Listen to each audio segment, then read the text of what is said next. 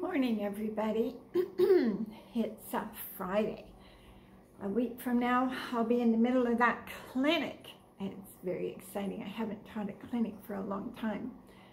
Um, yesterday, I started talking about the autonomic nervous system and how everything kind of connects through hormones so, and eyes, people eyes, and our need to reach out and grab. And it's that need to reach out and grab our horses that gets us into a lot of trouble with our horses.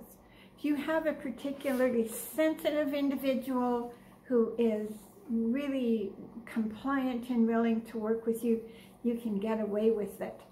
But a lot of times it's not a good thing. So I remember being in the position in the late 60s of owning my first horse. and that horse didn't back up very well. Um, he would run backwards, but he didn't back up when you asked him to. And he never stepped sideways. And I became very curious about how to move a horse sideways um, off of either side, it didn't matter. And one of the things that I went to England hoping to learn was how to move horses away from pressure. Pressure from me, uh, moving them sideways so I could open a gate from them or move them up beside an object, a table or a fence post so I could pick something up or put something down. And I didn't learn that. I, I came home from England with my first degree. I didn't have that.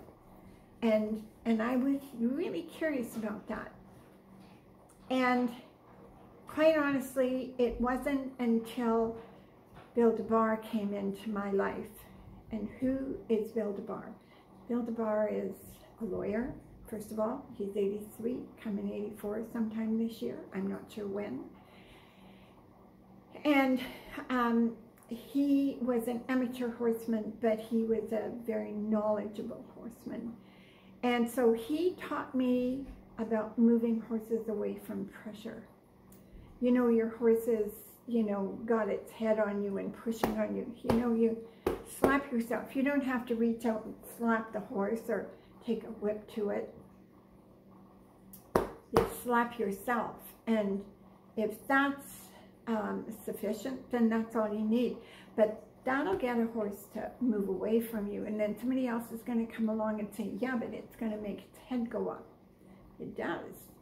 It does. If that horse is really in that fight-flight mode, that um, sympathetic nerve function, which a lot of times they are, so now the big question is all this yielding stuff.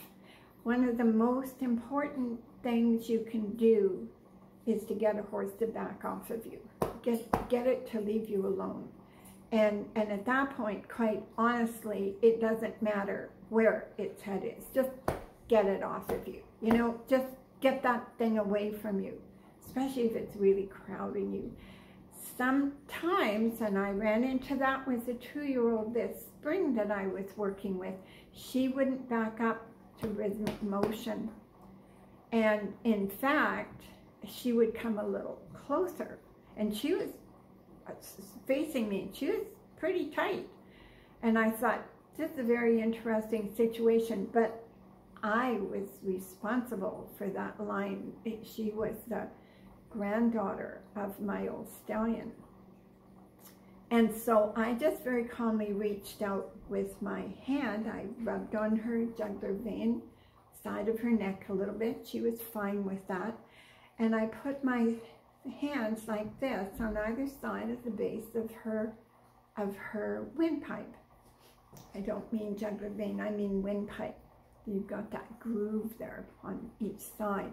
And I just quietly and I put pressure on. So now when you're looking at my hand here, pretend your horse and you're neck is here, just at the base, somewhere on the front, and that their front feet are right here. So if you are observant and you pay attention to this, let's say, because that's going to be your right side, let's say the right front foot is ahead. Take the fingers and kind of your fingertips if you haven't gnawed them down to nothing.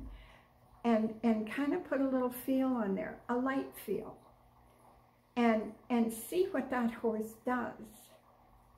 And and just wait for it. And don't get pushing and shoving just put that feel on there. And if you notice that the horse tries to take the weight off that foot might not move the foot but it takes the weight off. Just rub it and stop for a moment and um, then go back in. Start with the rub and put that feel on. And if it's that right front use the fingers on that are on the right side. Or if you're using your I'm left-handed so I tend to use my left hand.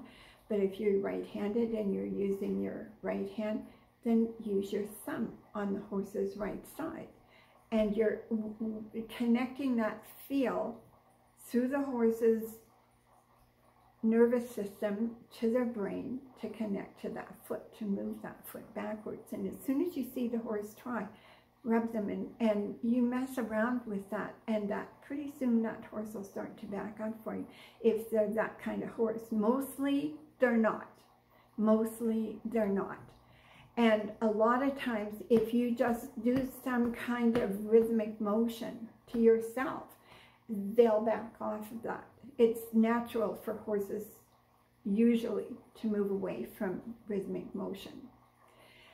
So once you get that, so that that horse isn't crowding your personal space, then the next thing is you want to encourage that horse to lower its head. I have a videotape of a horse recently that came into uh, April Johnson's life that was very high-headed and very, you know, trying to get away from the halter or your hand, anything. And um, I would reach up and touch her. My right arm doesn't come up very high. So I'd reach up and touch her and, and she just, you know, and, and so as soon as she quit for a moment, I'd take the pressure off and turn the other way. Don't keep looking at him. And don't do that. What's the matter with you, you silly thing? Don't don't do that because they really are concerned. And like it's genuine. It's not a put on. So you just keep going and you do that approach and retreat thing until they can tolerate that. And with that particular horse, she was uh, 15. I think she's 16 this year. And pretty soon she'd put her head down. But as soon as you made any kind of body motion that wasn't directed at her necessarily, somebody comes and you say, and her head would go right back up because she's been preconditioned to do that. So you work on bringing that head down because just lowering the head will change them from the fight flight, the sympathetic, towards the parasympathetic, which is where the ability to think and to reason and to process information comes in. And, and you want to work on that. I have to check my time here. I'm, I don't want to run over on my time here. So if you think about people, teaching a little, a little child how to account or the alphabet, they need to take information into the short-term memory and then transfer it into the long-term memory. It takes, and my figures might be out of date, but I'm giving you an example here. It usually takes 30 to 50 reps for information to come into the short-term memory. Short-term memory lasts about 60 seconds and then it's gone. So when you have um, uh, a need to teach something, you need to put that information in, let it soak in. then you go check and see is it still there. If it's there, great. Uh, they can they can appreciate that they learned that thing. Give them a little time to to um, um, uh, feel good about it, and then um, information will transfer into the long-term memory. So that's 30 to 50 reps that it takes. Now, the better individuals get at learning, the less it takes, but especially at the beginning and especially with these horses that have been mismanaged and that have bad habits. It's people that have bad habits. Just try to be patient with that. So every time that horse brings its head down, you just, you find a place where that horse really appreciates being rubbed and you rub it there. It might be on the side of their neck, it might be on their, whether, wherever it is. Not on their face, because that's kind of invasive of their space. So once you can get the horse to freely lower its head, then you can do other things that are um, going to help you out with that. So anytime you notice that your horse is getting a little fearful about something, ask it to lower its head. And, and you'll see a big, a big change in the relationships that you have with yourself and your horse. But the other thing you might want to pay attention to is if you notice that there's something happening, somebody let the dog out of the house, the kids are running around, uh, you want to trailer load the horse, you want to do something, and you get anxious yourself, don't be surprised if your horse gets anxious.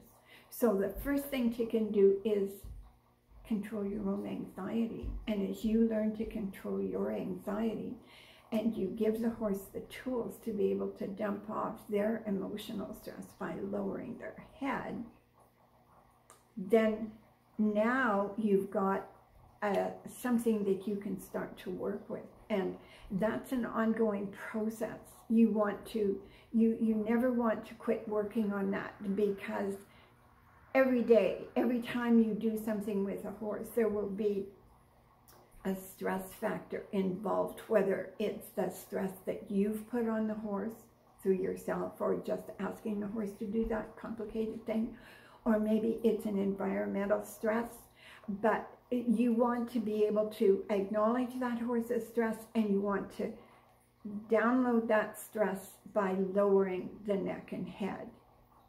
I'll talk about more this I'll talk more about this in the future. So anyway, there's your little nugget for the day. Thank you. Bye.